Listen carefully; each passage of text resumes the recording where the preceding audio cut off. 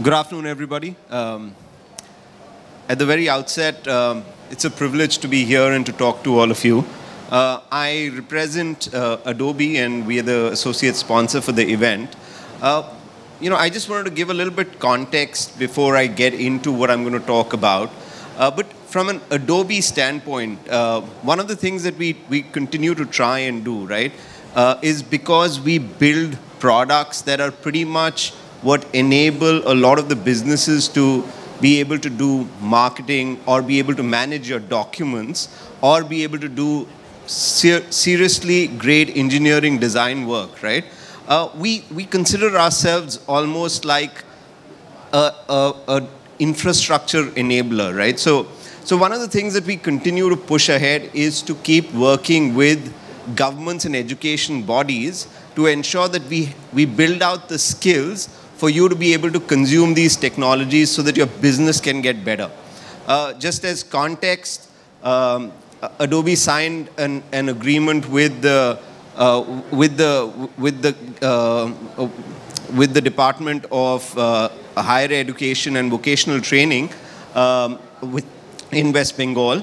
Uh, we've um, you know we, we've trained about 1,500 students in that in that domain and we've also trained about 300 teachers on another set of products with, with uh, uh, uh, the next step of training about 34,000 students uh, across the state by the end of next quarter, right? So we're making some significant investment in terms of skills and enablement for you to actually be able to tap into folks that are industry ready and can add value to your business to be able to help you sell better and be more successful in the business that you've built so uh, with so much of your hard work, right? So, so there is a bunch of things that Adobe is doing from a from just being able to create that capacity for you, so that you're able to uh, you know take benefit of the products that we've built out. Um, what I'm going to do over the next 15, 20 minutes is to really talk about um, you know, some of the innovation that we've done on uh, generative AI. Uh, and just again, um, you know, just taking a step back, right? AI has been something that's been there in the market for over the last 10, 15 years, right? So whether it's artificial intelligence, whether it's machine learning, you've been hearing about that all the time. Uh, what's, what's so different with generative AI and, and what's what's making it so compelling for everybody to think about it. And we think it's especially pertinent for MSMEs to understand what Gen AI is and what it can do to your business such that you can actually take benefit of what Gen AI offers. So if you really think about it, uh, technology till now was something that you needed to be able to write code to, right? Uh, to actually be able to make it do what you, what you needed it to. Uh, what generative technologies is now doing is that it's making it a, it's, it's really, we, we like to call it lowering the bar, right? So your ability to interact with technology is being made simpler by the day. And that, that's really propelled by generative technologies, and that's something that's making a massive difference to what it means to get people more productive, to be able to do things which took days or months or years to do, to do that at the snap of a finger, right? Um, and in, in some senses at the speed of thought, right? So, so generative AI and this, um, this you know, big leap that, that's being made in the tech world is something that you can benefit across different areas of the business, right? So it could be whether it's, it's with regard to, um, you know, 3D design, right? Uh, today you've got generative technology in 3D design that can help you, right? Or it could be with regard to say Photoshop skills, right? For you to actually be able to use Photoshop and leverage Photoshop better. Or it could be about saying how do I distill a document to be able to figure out what's the most important things of the document and can I just converse with the document like I converse with a person, right? I can ask questions, get answers, make more sense of that document and be able to quickly be able to derive value out of that document, right? Uh, and, and that power today is available for all of us to, to take benefit of. And that really is the true power of what generative AI does, right? Uh, and this can have multiple manifestations for your business. So you could like, you could, for example, um, you know, if you're, if, you're, if you're somebody in the education space or somebody in the learning space, right? This could be something that could really transform how your students consume the, the information that you put out and how they're able to get better outcomes with that. Uh, or if you're somebody who's running a digital marketing firm or an agency, uh, you know, can you improve your productivity of turnaround time, right? And, and, and I'll, I'll talk about some of the examples that we are experiencing with a whole bunch of different clients. But everybody is, is really looking to, to see how they can take and make the most of what generative AI can offer to supercharge their business, right? So, so with that, let me just um, quickly dive into.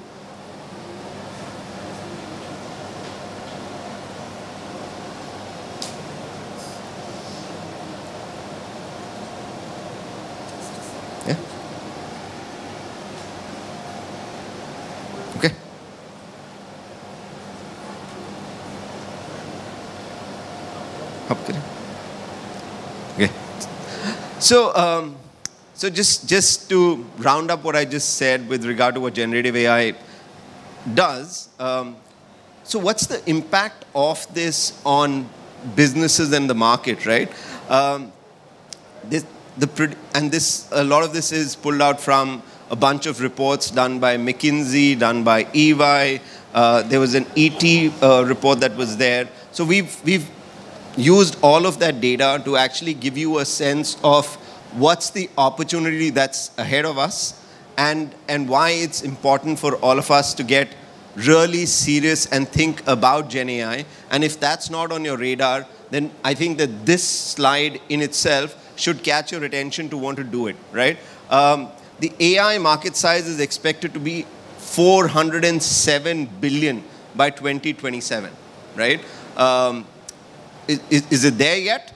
No, but it's really quickly getting there, right? And, and so if you get ahead of, of what, where the market's going, you will be in a position to actually be able to capitalize on this $407 billion opportunity. But for that, what it means is that you will need to really start getting on the AI bandwagon and, and start saying, how can you actually build your business or enable your business or supercharge your business, as the case might be, using Gen AI, right? 79% of the leaders are reporting a cost decrease via Gen AI adoption, right? So, so this is proven now that you actually bring down costs. So there was that conversation with, uh, uh, with the previous speaker where, where his assessment was that investment in technology is, is a little harder for people to actually be able to figure out the ROI. Uh, not so much today. Today, it's very easy and front and center for you to actually be able to figure out how much of an impact the technology investments are making on your business, right? It could be able to make you go to market faster. And I'll give you an example. We're, talk, we're working with this bank, which, uh, and we're, we're helping them implement uh, generative technologies for them. And what that's doing for them is that it's helping them go to market four weeks quicker than in the previous world. Four weeks, which means that their ability to generate cash or generate money becomes four weeks earlier, which means that you're adding a month of pure play, you know, billing to the business, right? And assume that you can do this over, you know, 10 different products. That's that's clearly almost a year of incremental revenue that, can, that you can add to the business just by reducing your time to go to market, right? So, so generative AI has this impact which can really add value and get you to be able to go to market much, much quicker. The AI market in India is expected to be $17 billion. And that's again by 2027, right? Um, and India has the potential to add 350, 59 billion to 438 billion to its GDP in, by, just by Gen AI by 2030. Right? So again, staggering numbers. And the reason why I'm sharing these numbers, it can mean nothing to us, but it can also show you the significance of the opportunity ahead of us, right? And, and it's really upon us to say, am I going to jump on this bandwagon and am I, am I going to really make the most of this opportunity or am I going to just watch and, and, and say this is not for me, right? Um, that's, that's really left to us. And, but it's important for us to be aware that the opportunity size is continuously expanding for Gen AI. And we think that, you know, if you, if you can get on it, and if you can start harnessing the power of what Gen AI brings to your business, you will be served much better and you will be able to serve your customers that much better, right? 90% uh, uh, say Gen AI will be a workforce partner by 2025. 65% of the consumers say that they trust Gen AI and 64% of the business owners say AI will increase productivity. Right? So everything um, is green lighting towards the massive adoption and opportunity of Gen AI, right? But like all good things, um, I guess, um, you know, generative AI all, also carries business risks which you should be aware of. And th these are some things that you should plan for as you look to implement it within your business, right? Um, so, so one of the core things with, uh, with anything that has to do with, with computers or with machines, right, is it's always garbage in, garbage out, right? So, so the big question that you always are worried about is, will your business be protected from issues around copyright, right? Uh, and how do you protect your business and how do you indemnify yourself from that? Uh, the other thing is with regard to, you know, who has access to my data? Is it private? Is what are the security uh, features that have been implemented? How is it that I'm always protected, right?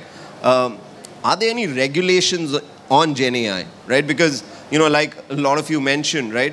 What's the what's what's the government's point of view on this, right? The the the two cents that I have to offer on that, right, is that with a lot of things, wherever you're doing, wherever you're breaking new ground, right, you will see policies will always be two steps behind what you're doing, and that's not because uh, the government's not fast enough or doesn't see it, but the government has to serve the lowest common denominator, and that always ensures that it takes time, and therefore you'll always seem like if you're in the bleeding edge of anything, any business, you will always seem to be ahead of some of the business laws that the government's put in place, right? So, so that, that's, but that's a key concern, and that's something that we all should be very aware of as we embark on this Gen AI journey. Um, how do you enable secure collaboration in this hybrid workplace? And can a company embrace AI as an opportunity and not as a threat, right? So, so a lot of employees, and, and, and with any technology, right?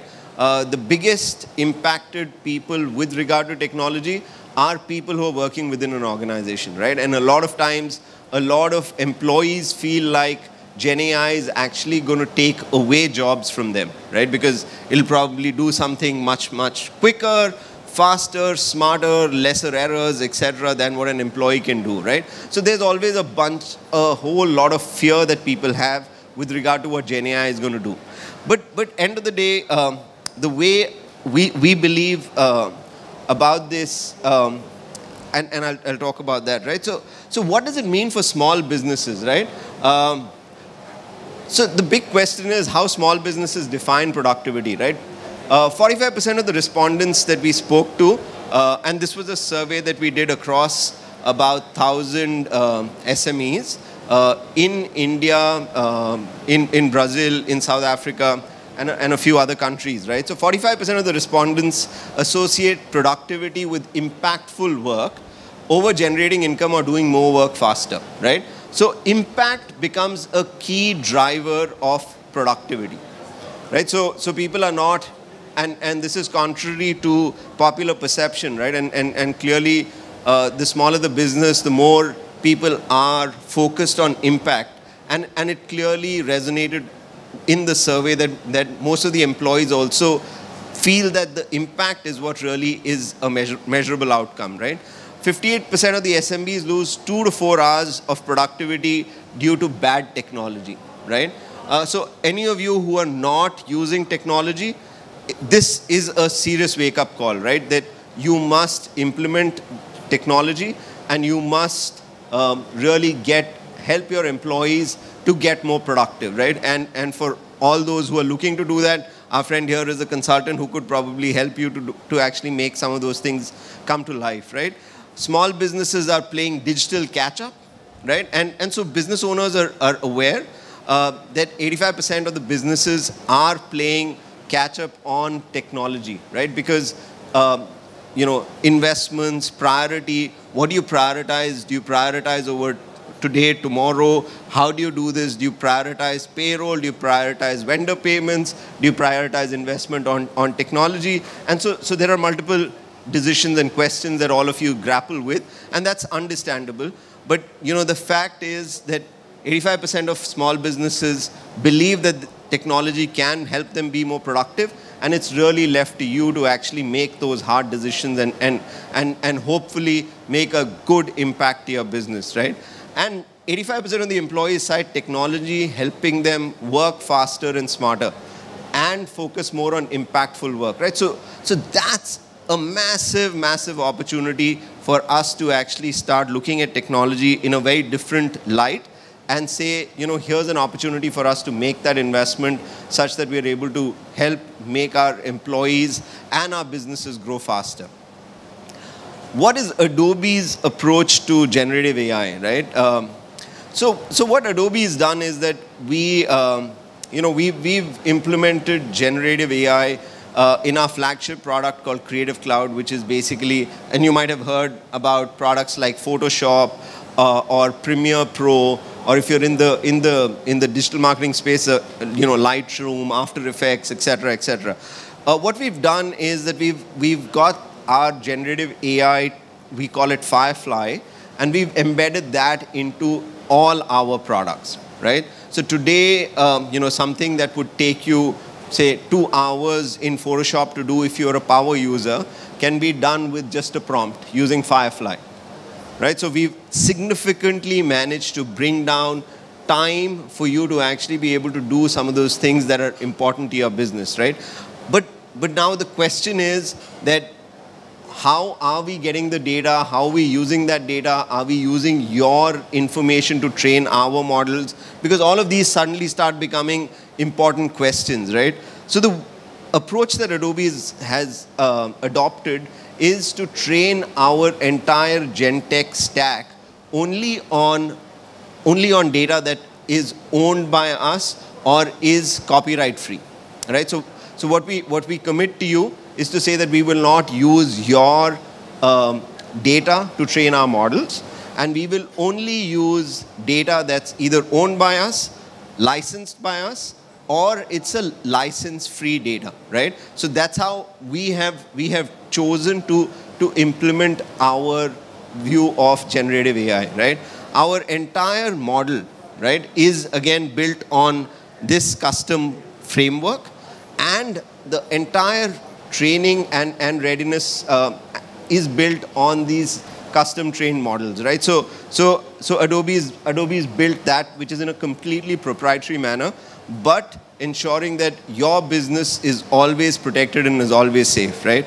Um, the interfaces, right? So, so we are we're saying that these are going to be available across all interfaces to you, um, whether it's Creative Cloud, Document Cloud, or Experience Cloud, and we will make the same promise hold true for anything, right? Um, and we've got a very strong uh, ethics committee on, on generative AI internally for the company. And all our products that are coming up with generative AI capabilities has to go through that ethics framework, right? So, so this is to basically tell you that Adobe's got a very unique approach to generative AI, and we think that you know your businesses will definitely benefit from it. Um, you know, um, the only piece that I'll highlight of this slide, right, is uh, around Acrobat Gen AI. How many of you are familiar with Adobe Acrobat? Good to see a few hands. Thank you. Um, so, so till now, um, you know, um, when, when we launched Acrobat in 1980, um, we actually open sourced it within two years of launching the product, right? Uh, and so you will see a lot of different versions of PDF. So the standard became PDF, and Acrobat is one of the renditions of PDF, right? And so, um, so, so that that was that was done by Adobe uh, to ensure that everybody can, can get the benefit of what Acrobat brings to bear. And, and there is a large amount of data that actually sits and large amount of document set that moves on PDF, right? And the benefit of doing it on PDF vis-a-vis -vis any other document format is that PDF has three important things, right? It's got a header, it's got, it's got entire text, and it's got this ability to have categorization of your data, right? Now, what these three things do for your, for your documents is that your documents suddenly can be made alive in different scenarios, right? So if you're a business that's processing, for example, loans, right? Or, for example, um, you know, admissions, uh, if, you're a, if you're a school or a college, right, and you're doing admissions, right? So you get a lot of the documents. How do you start making sense of it? If it's in a PDF format, you'd be able to do that much, much quicker, right?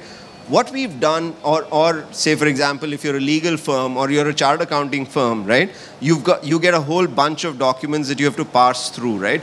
And, and can, you, can you make sense of that much, much quicker? The answer is absolutely yes. So with, with Acrobat, what we've done is now we've built in the generative AI capability in Acrobat, wherein you can ask the document questions and it will start giving you answers.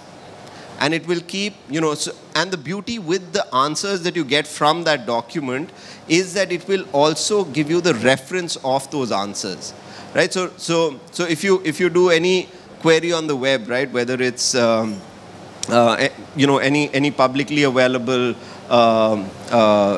generative AI service, right? What you will see is that you don't typically get the source of that information, right?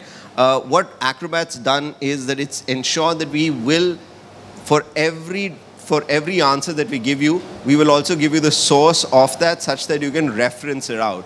This is to ensure that everything that, that you generate using generative AI from Adobe is always secure and it's something that your business can bet on, right? So, so but, but today that's available in uh, Acrobat. It's called the AI Assistant. Uh, what, we, what we're doing um, you know, in the coming few months is that it'll give you the ability to actually run this entire thing across multiple documents uh, thereby you being able to search multiple documents and still be able to get really simple and concise answers. Think about, you know, if you're a legal firm and you're looking to go through multiple different, um, you know, laws or, or statutes that the government's got, uh, you, will quickly be able to get answers to that and you'll be able to work much, much quicker with that, right? Uh, and that's something that's, that's going to be, that's going to be built into um, the, the AI assistant in in Acrobat, right? So, so there are lots of things that are, that are coming. We spoke a little bit about some of the Creative Cloud products. Uh, we've also got a product called Substance, which basically helps you with 3D design. Uh, and and there, is, there is generative technologies that we've built into that also, thereby enabling you to be able to do painting much quicker, or uh, you know modeling a 3D design much much quicker, right? So so so there is a whole bunch of things that we've done from a generative technology standpoint, uh, and I, I. I, have more slides to talk through, but I choose not to primarily because what I wanted to do was I wanted to leave you with this, uh, with this framework for you to think about generative, generative technology uh, and understand how Adobe is approaching it and encourage all of you as business owners and business leaders to start putting together a strategy to put generative AI to work in your businesses, right? Because, you know, you cannot, um, the, the way, way I'd encourage us to think about this, right, is that, uh, you know, today if you really look at it, how do you, how do you get to market, right? At one point in time, where you were located was a big differenti differential advantage, right? You had ports, you had access to airports, etc., etc. Today, with the internet, a lot of that has been democratized, right? You could be sitting in Siliguri or you know uh, any other remote corner of of the state, and you'll still be able to market your goods and wares to somebody in say Deloitte, right? Or somebody in um, in Detroit or somebody in Manhattan, right? How does that happen? It's because of what the internet allows us to do, right? And, and to be able to encash on this ability, right? we think that generative technologies can really help you. I spoke a little bit about what we're doing with the government of West Bengal with regard to skilling. So you will not be challenged to find people with the ability to be able to do this for your business, right? So, so suddenly we, we, we're helping you unlock capacity with people who are from West Bengal, who, who are studying here, to actually be able to bring that business value to your business right? So, so, so we're creating the capacity, we've got the products, right? Um, and, and sometime next week or the week after, we will be releasing an offer through the, through the good folks at ET for especially for people who attended this session such that you can take benefit of these technologies at a price that's that's really competitive right so so we will we will make the product available we'll we'll make uh, you know the the people capable to be able to use that product and we'll give you a special suite offer for you to actually look at looking making making more use of it right? Uh, I wanted I wanted you guys to to um, to get familiar with how we think about it. Um, I understand that some of this might have been a little um, you know a, a little more Adobe centric rather rather than what you were expecting. Uh, but but I tried we tried to try and simplify it as much as possible. I hope it was useful, um, and we really look forward to helping your business be more successful. And I wish you all the very best in your journey, and, and, and thank you for taking the time out. Appreciate Thank you so much, Mr. Joseph, for uh, taking us through your presentation and uh, explaining us more about how and why is digital media important for growing your business. Yes, so we were not expecting questions here, but still, yes, because you you raised your hand, so maybe one question. Can we take that offline? Or, okay, we're doing it here. Hi, myself is Arijit Bhattacharya, founder of India's one of the first game development company. My quick question to you is, uh, when you create a policy that the copyrighted material will be actually owned by the creator, and if it is not copyrighted, it will be probably co-owned. I have read your uh, details. How about some companies actually going for NFT, securing that particular object, and then coming back to your software and then utilizing it. Do you have such kind of structure? So, um, so you know, I mean, um, where you or or what platform or framework you want to use to secure your data is is your choice, right? If you use NFT, blockchain, what have you. I mean, you know, you could use multiple different technologies, right? Uh, depending on what you what you do to actually secure it, that's your call, right? What we at our end would do is that if, the, if that particular data is not owned by us, we will not use it to train any of our models, right? We can help you as a user of the product can, can, can use our product to be able to make whatever changes you want to do to your product, but that still continues to be yours, and we will not have any say on the matter, or we will not use it or, or utilize it again. Does that, does that kind of answer your question? It's fine. I, I actually represent a very large group of uh, indie developers. So it's a question which is raising in multiple groups. Thank okay. you for the answer. All right. Yeah, thank, thank you. you. Thank you so much, sir. Thank you. Sir, request you to please raise the stage for a while. Yeah, and just this, one, one small, one oh, very small where, question. Where are you, yeah, sir? Yeah, yeah, here. Okay, okay. Yeah. Uh, see, I'm, I'm a subscriber of your uh, Adobe and I'm a very extensive user. Of course, I mean, mainly from the business point of view, uh, not, not from actually the designing point of view. But what I find is that merging of the documents in your Adobe is still a bit difficult uh, unless I'm using some third-party software like iLovePDF and all, all that. Okay, so could you just please uh, uh, say a few words on this, or if if if you could make it a more uh, simpler, you know, if you could make it a little bit simpler so on on your main screen yeah. for you know merging so, the so mer so merging documents is actually one of the core benefits that uh, Acrobat brings to bear, right? Okay. Um, the feedback that we've had with from people is that it's it's very simple and intuitive to use. Um, I, I, I'd, I'd, love to know more about the version of the product that you're using. It the latest be, one, because I get it on a monthly basis. I'm a sub subscriber. Right, right. And so, so, so, so, I'll need to understand that a little okay. better for me to be able to give you a more coherent answer. Okay. But, but merging of documents is a core functionality that Acrobat engine and business rest. No, I do it very easily when I use those th third party, you know, add-ons like iLovePDF and, and, and, and all. but then unfortunately here I'm not able to. Sure, mm, ha happy to speak offline.